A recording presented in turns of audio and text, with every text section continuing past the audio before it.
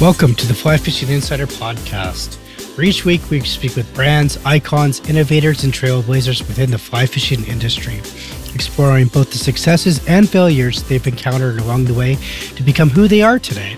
But first, if you have not yet subscribed to the podcast or joined our email list, please do so by going to the flyfishinginsiderpodcast.com, or you can also find us on Instagram at flyfisherinsiderpodcast. Now let's begin.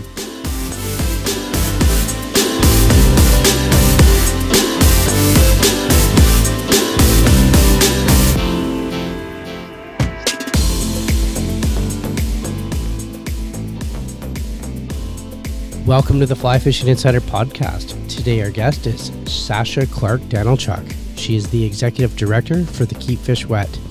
Sasha's here today to tell us more about the organization, what they're doing, their mission, and their goal. Sasha, welcome to the show. Thanks so much for having me, Greg. Yeah, no worries. Hopefully, uh, you're staying safe out where you are. Where are you, by the way? I'm in Western Massachusetts, so uh, I usually explain that as not Boston part of Massachusetts. for all of us Canadians that were wondering, for sure. You there know, you go. it's funny. So, Sasha, you know, I want to get into all the uh, fantastic stuff that you guys are doing, but before uh, before we do that, just tell us a bit about yourself, how you got into fly fishing, um, and and sort of what led you into where where you're at right now. Yeah. So, um, gosh, probably like a lot of people in this sport, you know, it kind of came from childhood influences. Um, my my father loves the mountains and hiking and backpacking, and my mother loves the beach. So all of our vacations were were one or the other growing up. Um, and I fished as a kid. Um, most uh, initially, you know, kind of just conventional spin gear.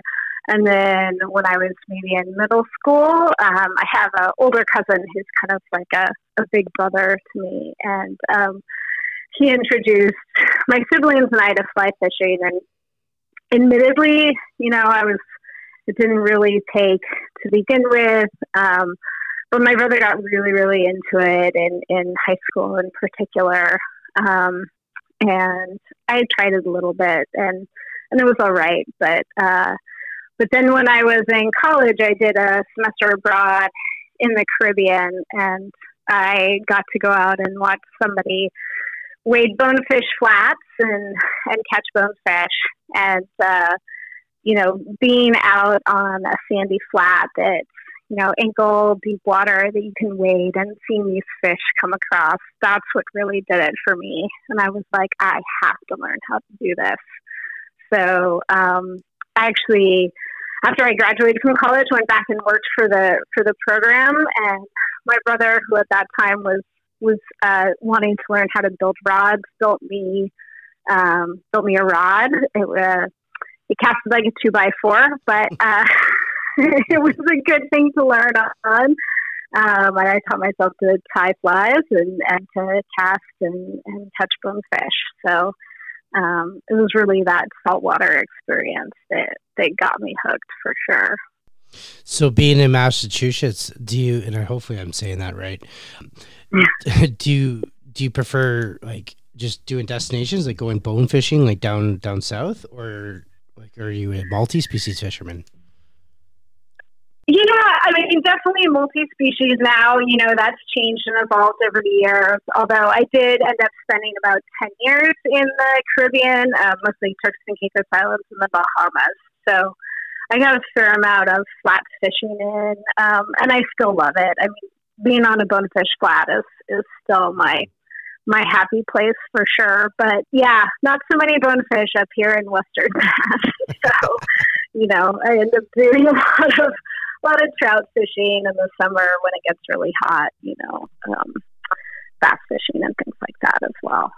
So. Awesome. I love that. So, so then Sasha, here's where we're going to go. Then when did you lead into the role? Like after, after that program was done, you came back. Is that when you, you got into the role that you're at right now as the executive director? Uh, no. So, um, so it did, it did take me in the direction of fishery science. Um, and, you know, as I'd mentioned, I spent uh, almost 10 years in the Bahamas, um, teaching and working for a couple different organizations um, and kind of helping build a, a, research institute that was all focused on kind of uh, marine and, and Bahamian science.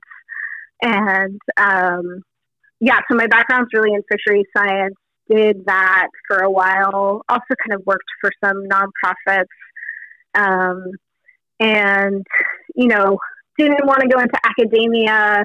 Um, and so, you know, it took me a while to kind of figure out exactly what I wanted to do when I grew up. I'm still not entirely sure, but um, but uh, eventually it led me to you know realizing that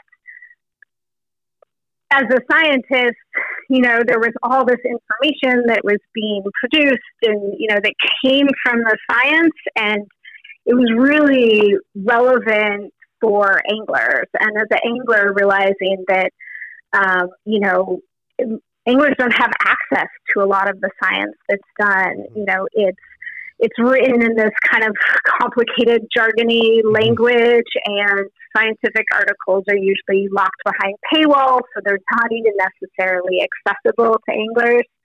Um, and realizing that there there needed to be uh, better flow of communication both ways, right, between the science and angling communities. And um, I initially started out, you know, back, so we just rebranded. We used to be Keep 'em Wet Fishing. Mm-hmm. And uh, so I initially started writing a, a blog series. Um, and essentially that's what I was doing. I was translating the science, um, you know, taking a, a 10 page article and making it into, you know, a couple paragraphs and some bullet points that were easily understood and picking out the relevant information for anglers. Um, and then my work kind of just grew and grew, and I started doing more and more for the organization. And uh, we formed a nonprofit uh, last year, and so part of that was I, I took on the executive director role. So, um, yeah, yeah, no, that's, that's awesome. Sort of so, where I got to where I am, which is which is great, and I'm glad you clarified that because you know I know like like you said, like anglers don't have access to a lot of the um, articles or d- facts or data or studies that were, were done. And you know, as I like to say it like this, like we're as anglers, we're front, we're on the front line, right? We're the ones that are handling fish, and we're you know we're we're active and we're doing our our part in that. But I mean, not having all the information, it could be you know in one sense detrimental. So the fact that you went out of your way and created that access for everybody to have that awareness is fantastic and it's such a great idea do you know what i mean um you know and and your yeah blog, yeah. Like your blogs. I'm assuming now now um with your blogs that you have have i don't want to say dumbed down but like um translated? Is that a better word? Tr- translated it into more exactly. user friendly um you know user friendly material. Like i i would probably be bored and lose interest or fall off uh, reading a scientific study on, on you know what I mean, like on on fish. Um, yeah, but, you know. Yeah, and there's a reason. I mean, there's you know, there's really good reasoning why science is written the way that it is. You know, scientists work really hard to try to be as objective as possible. You know, obviously we're human beings, so we can't ever be completely objective. Um, and so there's but there's good reason why you know science is written in the third person and and you know the methodology is explained down to a t so that if somebody wanted to rec- rep- um, excuse me replicate the experiment they could um, you know and all that sort of stuff. But yeah it's really hard to get through. I mean it'll take you know it takes me a long time to read a study and really dissect it. And um, so you know trying to ask anglers to do that is it's a lot. And I, I know anglers who do and they love it but uh, it's not for everyone. Um, and so you know finding another way to communicate that information and you're exactly right like you don't it doesn't need to be dumbed down. That's not that's not the point. It just mm-hmm. needs to be you know put into a different language, uh, the the salient pieces pulled out. I mean, that's the other thing. Like, it's easy to read a study and, you know, especially in the discussion section, which is kind of a summary and, and wraps things up and pulls out the conclusions. There isn't necessarily like different weights given to different types of conc- the conclusions always. So sometimes it's really complicated to read through it and figure out like, okay, what is the key point that I need to take away from this study or that the angling community should take away? Um, you know, and some things just, some things are more scientifically, um, I don't want to say significant because that's a, that's a, that has its own scientific definition, but, um, you know, uh, poignant and yeah, and, and but but it might be the more minor points that even aren't discussed as much that have more relevance um, to, to anglers. So, you know, I think trying to get that information and in a form that anglers can use, especially with something like fisheries science, which is so applicable, right? This isn't, you know, there's a there's a ton. I mean, we have over 400 studies on catch and release now, and so, you know, there's a ton of information out there that could be used by anglers. Absolutely. Um, and it's just a matter of are they getting? Getting the information out there. Are they yeah. using it? That's the question too. So that is a good question. Well, that's our goal. Um, you know, one of our big goals is is to um, make that information accessible so that it can be used mm-hmm. and, and help anglers um, get better at using some of that information. So, what, so I'm going to speak in the third person here. For me, um, or can you explain to me um, what the importance of and why we should keep fish wet? Like, what's you know, um, for those, I'll just say for for again for me, it just makes it more easier that way. Um, yeah, explain to me why we want to do that sure. and the importance of it. Yeah. So, and and if I can, I'll just um, I'll broaden that out a little bit and I'll say, you know, why anglers should use best practices in general yeah. as opposed to specifically keeping fish wet, which we can get into more detail soon if you want to as well. But anytime. So. Yeah, I mean, okay. Um, you know, so um, I, I don't, you know, catch and release as a practice has been around for a really long time, right? I think there, there's a Lee Wulff quote that I think it's all the way back in the 1930s or something that says, game fish are too valuable to be caught only once.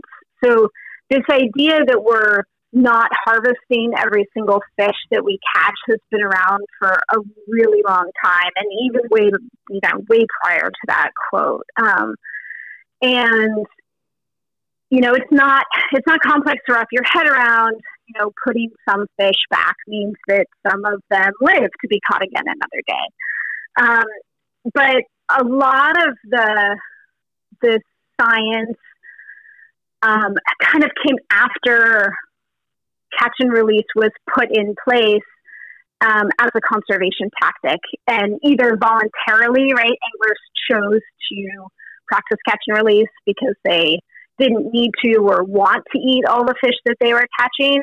Or you know in some places it's it's regulatory too right? There are certain rivers or times a year or or stretches um, that you have to release fish. Um, so a lot of the science of catch and release has been done in the last 30 years and actually about half the studies have been done in the last decade alone um, and more and more, what they're showing is that, you know, A, not all fish survive. And B, there are things that anglers can do that influence whether a fish survives or not, mm-hmm. and just in general, the health of that fish after release. So, um, you know, there's a really good argument that we need that practicing catch and release is not good enough. That there's more that we can and probably should be doing. Um, you know, not, I don't want to get to the numbers too deeply because um, it's especially hard uh, through a podcast when you can't see them, or at least for me, I think it's always easier to, to look at them. But, you know, we in the U.S., um, we catch about 350 million fish every year, and, and over half of those, about 57%, are released. And I think in Canada, release rates are even higher. Um, you know, some agencies estimate about a 10% mortality of fish. Mm-hmm. And, you know, obviously that's going to vary with species, it's going to vary with how you're catching the fish. But if, you know, if you figure in the U.S. Um, that over half of those fish are, are being released and about 10% are, are dying after release. That's 20 million fish a year to die from catch and release. Um, and, and it's really easy to bring those numbers down, right? If, if, if you can change release mortality rates mm-hmm. from 10% to 9%, you're saving 2 million fish a year. Yeah, that's, and that's then think about, you yeah. know, yeah, the huge. economics of that, right? Yeah. Like, how much money are those 2 million fish worth that you're yeah. saving? Um, so I think there's an economic argument to be made, you know, and then if you're talking about fisheries that are already threatened or vulnerable, um, you know, at some point, every single one of those fish matters to the population. So mm-hmm. the more that we can do um, to give the fish we release a better chance of survival, the the more resilient our populations are going to become. Um, and and that's especially important, you know, when you're thinking about all the different impacts that fisheries have today, right? Whether it's climate change or habitat loss if we can just take pressure off, a little bit of pressure off from one of these impacts, it just it creates more resiliency so those fisheries are, are more likely to be around for longer, right? Yeah. That our kids and grandkids will have a, a better chance of experiencing that. Um, so really, you know, that's kind of the the basis of you know the philosophy, I guess, behind keep fish wet. Um, and then we can do these things without taking the enjoyment out of fishing. So then that's that's where I'm going to go with that right now. Um, what are some yeah. of the ways right now that anglers or myself um, can can reduce that mortality rate and and get the you know save two million fish? How how can we do that? Sure. How, yeah. Yeah. So um, we have you know essentially combed through all the science and um, pulled out you know, the best practices, the things that anglers can do, and, and organize them really into three simple principles. And these are things that every angler can do, no matter, you know, what type of fishing, no matter what type of water body, what type of species, anywhere in the world. And they're and they're they don't require you to buy a lot of new equipment. Um, although I'm a gear junkie, so I love any excuse there is to buy new gear. But um, but you know, these are things that beginning anglers can use, or things that expert anglers can use, and they're, and most importantly, these are things that are within an angler's control, right? There, there are reasons that um, you know that we can't change the outcome of fish, um, such as deep hooking, right? We don't always have control exactly where a fish is hooked, mm-hmm. um, but there are a bunch of things that we can control about an angling experience. Um, so we use three principles. Uh, the first one, not surprisingly, has to do with air exposure. So it's just to, to minimize air exposure. Um, and most studies out there for most species say, say that, you know, 10 seconds or less is okay. So if you can keep air exposure under 10 seconds, that's going to give um, any fish a much better chance of survival. Um, so that's kind of the yeah. the biggest one, um, and and our and our first principle. Um, our our second principle is to eliminate contact with dry surfaces. So fish are covered in slime or, or mucus, and, and that helps protect them, kind of the way our skin protects us. So anything that you can do to keep that mucus layer intact um, is going to be beneficial. Fish are really susceptible to, once they lose their mucus, they're really susceptible to like disease and mm-hmm. um, in particular fungal infections. So, you know, that's that's just getting your hands wet before you handle a fish. Don't drag it up on the bank. Um, you know, try to keep it off the rocks, things like that. And then our our third principle is to reduce handling time, and that's anything that you're doing to a fish from landing to release. You know, whether it's actually in your hands or in a net. If you can get that period um, as short as possible, um, it's going to give fish uh, fish are going to do better after release as well. Absolutely, so, yeah, absolutely. Three great practices for sure. Now, when you like, and this is where I kind of want to go with this. Everyone knows your hashtag keep fish wet. Everyone's probably used it. I'm guilty of using it, and uh, I, I talked to you about this briefly, and it's you're you're hashtagging that, and in those when you see those photos or you you see that, like, is there a misconception of keeping fish wet when people are like mishandling or, or, or not um, following the those three three um, minimizing contacts that you mentioned just mentioned? Like yeah i mean I, I have to admit i guess i sort of have a love hate relationship with uh, social media and hashtags in general.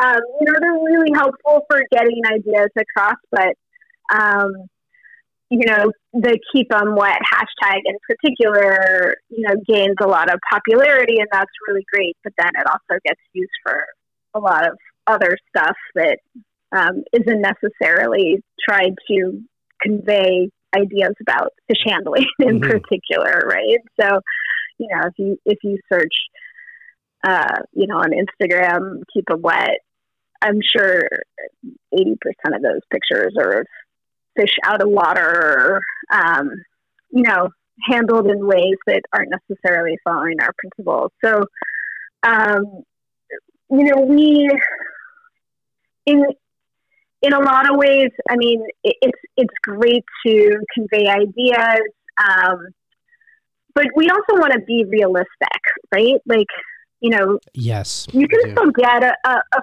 photo of a fish in less than 10 seconds, yes. right? Even if you have to lift it out of the water, you know, that's, that's possible. You can get great photos of fish, mm. you know, if they're out of the water for less than 10 seconds. Um, and there are situations where it's really hard to, um, to, to never take a fish out of the water. You know, I was fishing yesterday from, from a boat with fairly high sides and you know, some of the fish we were landing, I just couldn't, I was going to fall overboard if I, by trying to lean all the way down to the water. So, um, you know, so some of those fish had, had to come out of the water for a few seconds just for me to get the hook out quickly. Mm-hmm. So, so I think we want to be, um, you know, reasonable about our expectations. I mean, people, not everybody has an underwater camera. Not everybody can take really cool split shot photos of fish. Um, so we still, we still want people to enjoy this experience of fishing, um, and, and maybe just find ways to amend their actions a little bit so that the fish can be healthier after release, right? It's it's a delicate, it's kind of a delicate balance. Um, you know, and there are fish that are that are that are more tolerant of air exposure than others, and there are times when fish are more tolerant of air exposure. Um, for example, you know, water temperature has a huge impact um, on how fish respond to catch and release okay. in general. So, um, so if we were to say yeah. trout, are they do they have a longer?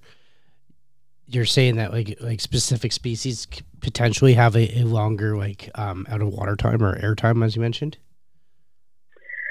Yeah, I don't think anybody's ever looked um, compared one trout species to the next. That study hasn't hasn't been done, um, but you know we do the more the more science we have, we do know that a there are species specific differences, and and b there are also like location specific differences, right? Okay. Yeah, um, yeah.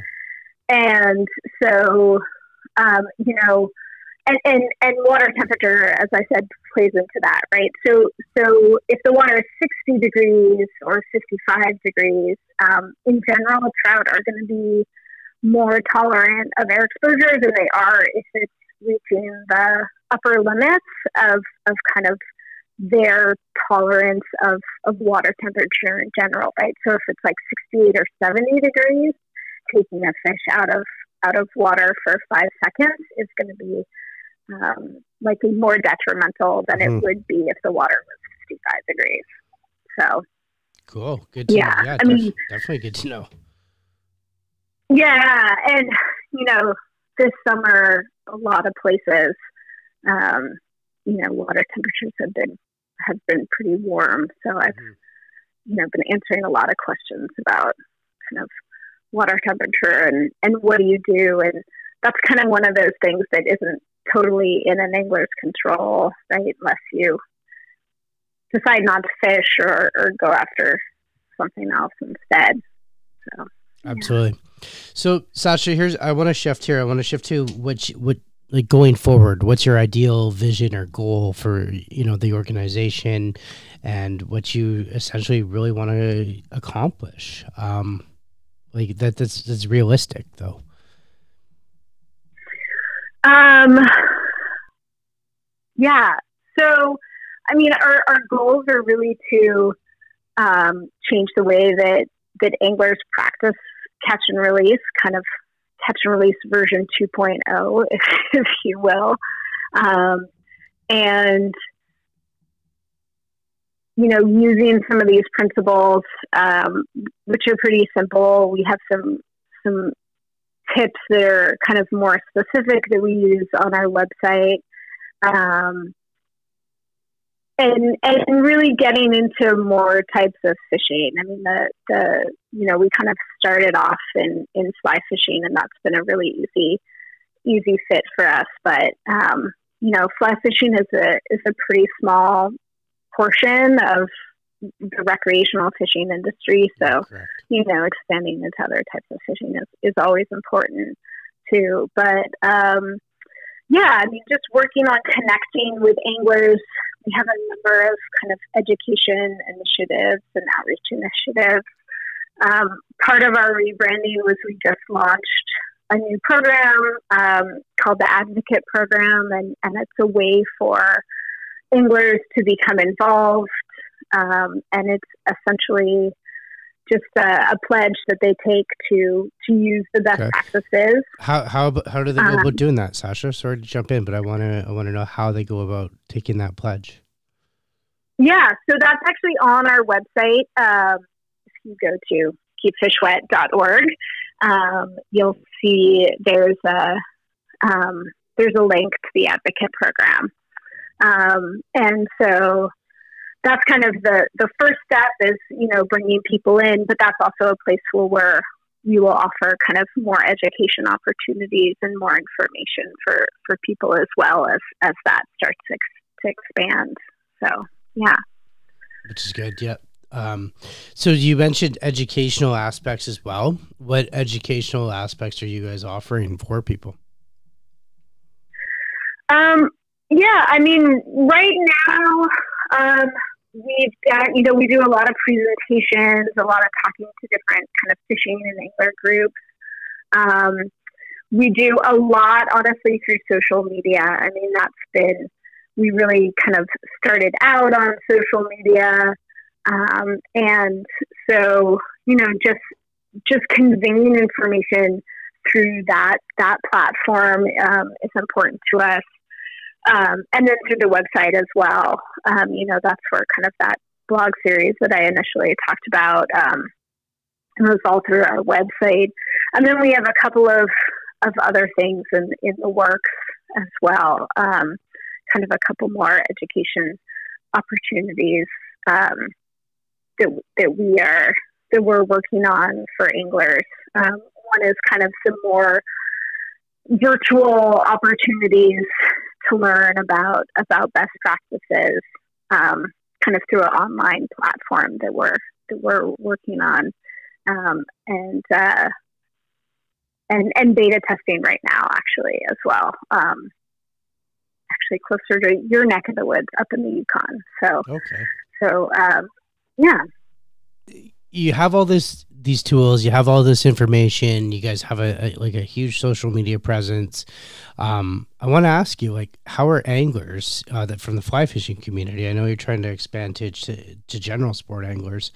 Um, how are anglers rec- like receptive to what everything you're doing? Is there any pushback or resistance from anybody or any any specific groups, or do you get any um, challenges, you know, regarding this, or in general, are fly fishers like open to it, acceptance to it? Like, walk us through what's going on there. Yeah, I mean, by and large, I think people are, are very receptive to these ideas. Uh, you know, I think also once people realize that we aren't trying to take the fun out of fishing, um, you know, that and that these are really simple things that that can be done.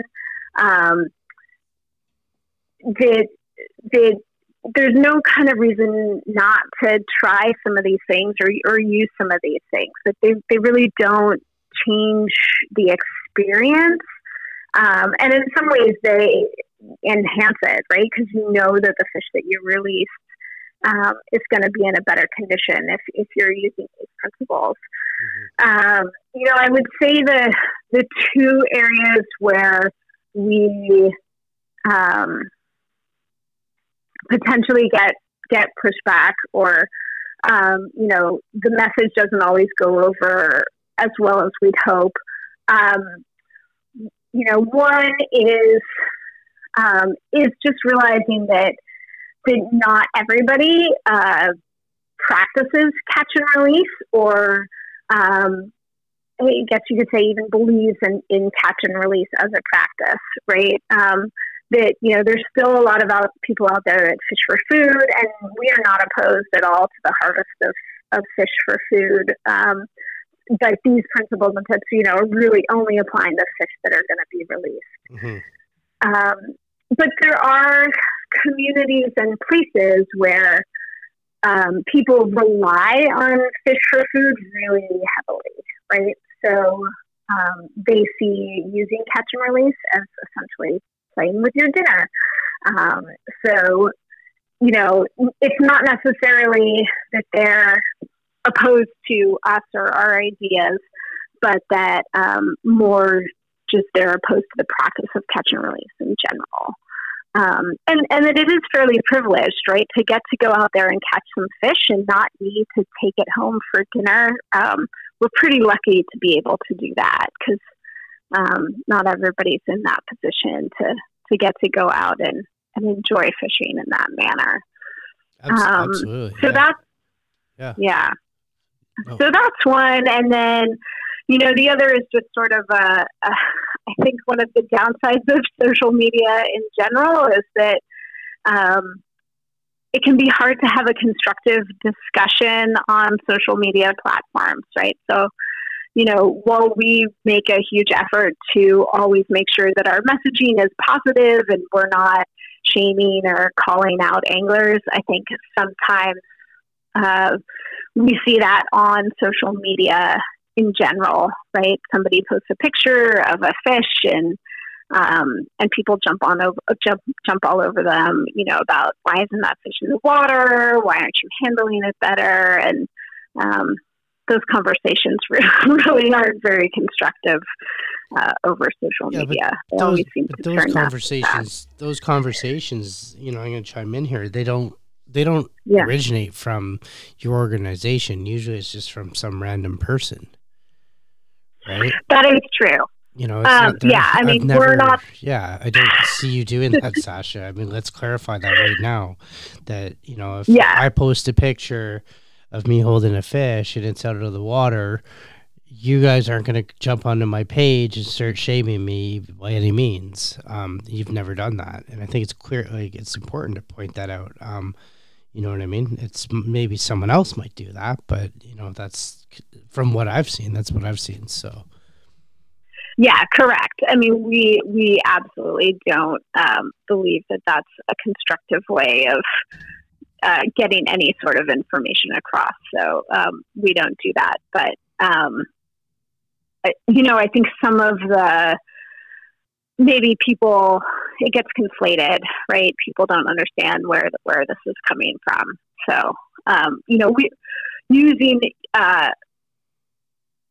our information to bash other anglers or criticize other anglers um, it isn't something that we want to have done in general.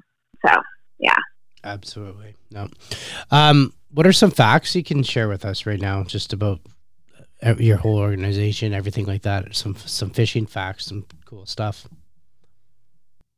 Um, fishing facts. Um, gosh, let me think about that. Um, I'll, I'll let you think. Do you have a specific topic that you, that you about, want to hear? I'll, I'll, go like this. I'll go edit, edit, edit, so that I know. And then right now we'll we'll talk. so when I say fishy fact, you said you had some stuff for Canada, some statistics. That's the word. Um. Oh. Do you have any? Yeah. Um. We're looking for like another. If we can get like another like four minutes, um, this will be that'll kind of that'll be good. We'll be at a, a good time. Okay. Um, yeah, I mean, some of the statistics I guess I was thinking about were okay. you know, me, like me, numbers. Okay, yeah. So when you're ready with that, I'll re-ask the question. Okay. Um, I, I, some of it's some of what I already talked. Okay. Sure. Okay. You want to go back into that? It's kind of some of those statistics. Yeah. No, okay. about uh, how many fish are caught. Um, let's see. Uh, interesting things that we could talk about. Um, do you want to talk about pouring Coke on fish on fish's gills to stop bleeding? Yeah, I, have you seen that you, practice? Yeah, um, Louis Cahill and I were talked about that. So, um, yeah, I'll bring I'll bring that up. I'll, or do you want to save that? Okay. No, let's bring it up. So I'll. uh Okay. I'll ask a question on that. So. Sasha, before I let you go, um, you know, I, I heard a rumor, and I know I've talked to Louis Cahill about this, and we did that in, in one of the earlier episodes. You brought it up about, and I know uh, um, about pouring Coca Cola on a fish's gill to stop the bleeding. He says it cauterizes it, and um, you know, uh, you being a, a, fish scientist, if you will, um, is that true? Yeah. So um, that's what that's that's one of those practices and and you know that's definitely made its way around the internet. And uh, there were a couple people who kind of you know tested it or, or or tried it or a lot of people who were trying it and a couple people who kind of tried to uh, address it quasi scientifically um, but we we finally have kind of a, a more scientific study that that was just wrapped up.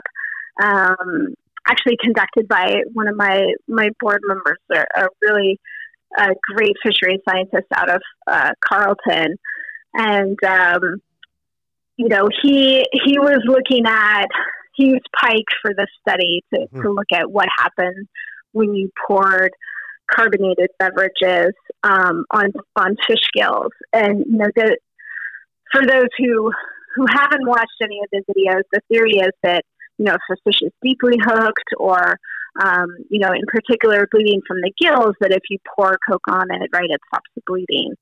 Um, so, so they tested Coke and um, just carbonated lake water. They used like a soda stream, mm-hmm. right?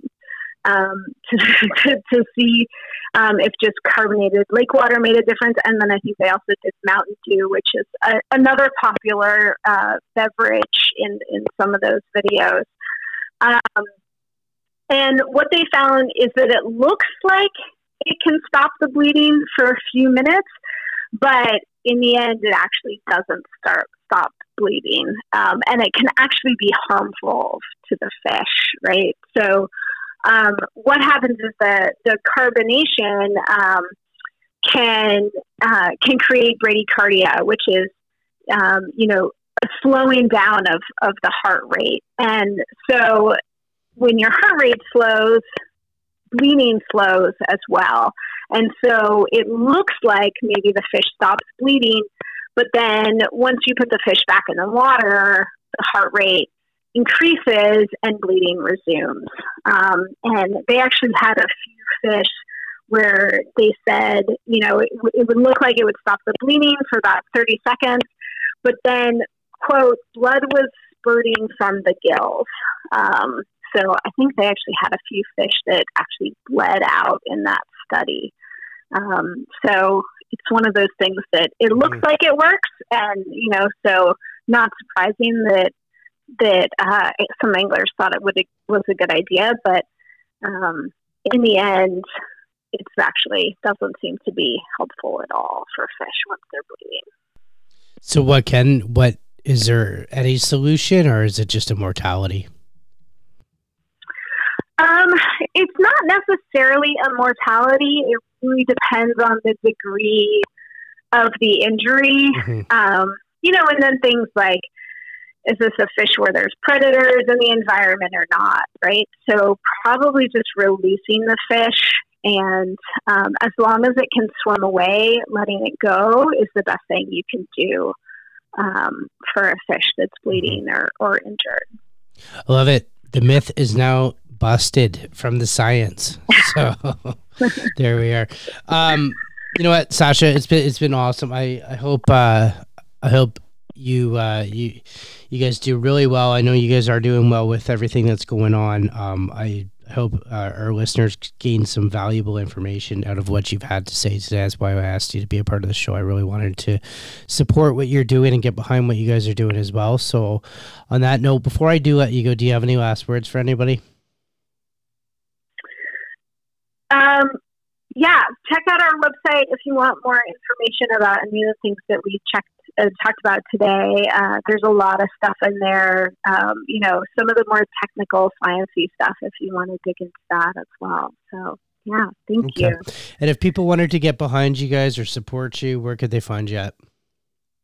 Yep, uh, www.keepfishwet.org.